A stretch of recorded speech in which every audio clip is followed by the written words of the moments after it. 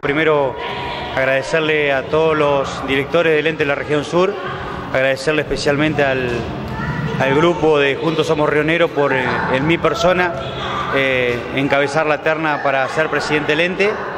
Y bueno, ahora culminando esta actividad deportiva en la cual le agradezco a toda la gente que vino de afuera a participar, a acompañarnos y a todos los chicos de Maquinchao que también se hicieron partícipes de este evento. Y un agradecimiento especial eh, a la persona que tengo en el área de deporte y cultura que es Adriana Catalán, más otra gente también que le ha colaborado con este evento, pero bueno, realmente un éxito total y, la alegría de la familia con lo que uno se queda, ¿no? Yo siempre digo que eh, para un dirigente o uno que ocupa un cargo de estos políticos no hay nada mejor cuando uno ve reunido a la familia una localidad, un pueblo sin deporte, sin cultura no somos nada. Y, no hay mejor forma que por intermedio del deporte eh, tener contenido a nuestros jóvenes y a las personas mayores que ya por ahí se nos, despierta alguna actividad deportiva de grande, eh, empezarla a practicar y, y llevarla de la mejor manera posible. Y siempre digo que lo importante es participar, los resultados son lo de menos, lo importante es participar, disfrutar y, que nos sientamos todos contenidos por intermedio de, ya sea del atletismo, de la bicicleta,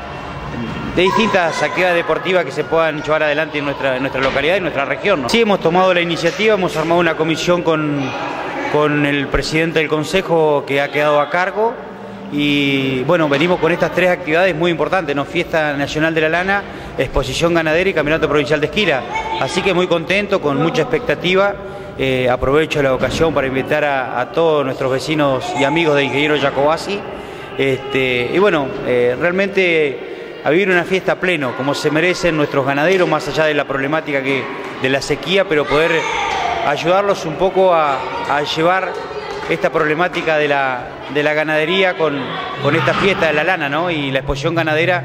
y el campeonato de esquila, que es algo muy, muy importante no solamente para Manchao, sino para toda la región sur. Digamos, primero es que recibimos un ente con 4 millones y medio de deuda y la prioridad número uno, he buscado 4 o 5 puntos que voy a trabajar en esta semana y, una audiencia lo más rápido posible con nuestro gobernador Alberto Beretiné, que es becas, vivero, eh, caminos vecinales, que tenemos un equipo ripiero guardado hace cuatro meses en Maquinchao y los ganaderos están muy molestos con los caminos vecinales,